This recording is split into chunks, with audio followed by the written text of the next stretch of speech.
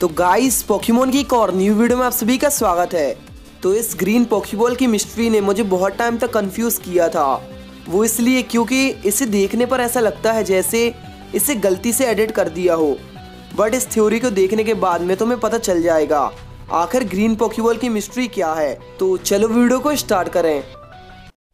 एक green Poké Ball की mystery ये सुनने में किसी एपिसोड के टाइटल जैसा लगता है। बट बहुत सारे फैंस के मन में ये क्वेश्चन था कि तुमने देखा होगा, जब पोकेमोन एनवे में पोकेमोन की शुरुआत होती थी तो उसमें एक ट्रेनर को लीग में बैटल करते हुए बताया जाता था और तभी वो एक ग्रीन पॉकीबॉल को फेंकता है।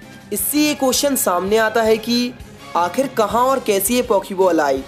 जहाँ तक ये ना ही ग्रेट बॉल और ना ही अल्ट्रा बॉल और मास्टर बॉल तो बिल्कुल भी नहीं है और जनरेशन वन में सिर्फ़ यही अवेलेबल है। तो इसलिए बहुत सारे लोग सोच में पड़ जाते हैं कि ये बॉल क्या है, और हमें ये क्यों नहीं मिली। वैसे तो बहुत सारे लोग और मैं भी यही सोचते थे कि ये बस एक मिस्टेक है, जो एनवे वालों से एडिट करते वक्त हो गई होगी। बट सच्चाई तो ये है कि ये कोई मिस्टेक नहीं है, बल्कि इसे ग्रीन ही बनाया गया था, और इसे सफारी बॉल कहते हैं। अगर तुमने बचपन से सिर्फ़ पोकेमोन एनमे को देखा है तो तुम्हें इसके बारे में नहीं पता होगा। और गेम्स भी खेले हैं तो भी बहुत कम लोगों को इसके बारे में पता है। इसके दो रीजंस हैं। सफारी बॉल का कलर गेम्स में ठीक से नहीं दिखता है और ना ही शो में। इसलिए काफ़ी लोग सोच में पड़ जाते हैं कि ये ग्रीन पॉकीबॉल क्या है? और दूसरा बड़ा रीज़न जिस वजह से हमें ये देखने को नहीं मिल पाई, वो इसलिए क्योंकि जिस एपिसोड में से बताया गया था, वो एपिसोड बैन ही हो गया था। उस एपिसोड में जेम्स के हाथों में गन दिखाई गई थी। जिस वजह से इस एपिसोड को बैन कर दिया। और इसी एपिसोड में ये भी बताया गया था कि क्यों ऐश के पास में इतने सारे टोरोस पोकीमोन हैं। इसी एपिसोड में बाद में प्रोफेसर ओक की लैब में ऐश ने सफारी बॉल से सभी टोरोस को पकड़ लिया था। तो ग्रीन बॉल ही सफारी बॉल है। मिस्ट्री सॉल्व फाइनली हमारे पास एक अच्छा आंसर है। लेकिन बस एक प्रॉब्लम है।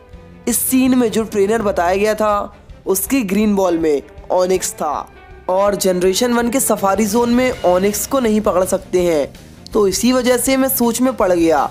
जब एनिमेटर्स इसे बना रहे थे तो वो करना क्या चाहते थे? या तो सफारी जोन और बड़ा है, जितना हमें बताया गया उससे कहीं ज़्यादा। शायद वहाँ केव्स और माउंटेन्स भी हों, तभी तो ओनिक्स मिलेगा। वरना नॉर्मल ग्रास में ओनिक्स मिलना पॉसिबल नहीं है। बट ये सोचने में बहुत इंटरेस्टिंग है। सफारी जोन हमारी सोच से कहीं ज़्यादा बड़ा हो। यहाँ कुछ और मिस्ट्रीज हों। अगर ऐसा है तो मज़ा आ जाएगा। पॉकीमोन की दुनिया बहुत बड़ी है और यहाँ ढेर सारी मिस्ट्रीज हैं। सफारी जोन में ही बहुत सारी अलग लोकेशंस हैं। तो मुझे कमेंट्स में बताओ, तुम्हें क्या लगता है इसके बारे में? और हाँ ये एक शॉर्ट वीडियो है, पर बहुत सारे लोगों को ये बताना बहुत ज़रूरी था, क्योंकि बहुत सारे एपिसोड्स बैन हो चुके हैं, जिस वजह से फैंस को सभी मिस्ट्रीज के आंसर्स नहीं पता। आगे हम और भी ऐसी वीडियोस में सब कुछ क्लियर करेंगे। इसलिए अगर कोई वीडियो मिस ना हो तो इस चैनल को सब्सक्राइब करके बेल आइकन को ऑन कर देना। और अगर तुम्हें ये वीडियो अच्छी लगी हो तो इसे लाइक करना।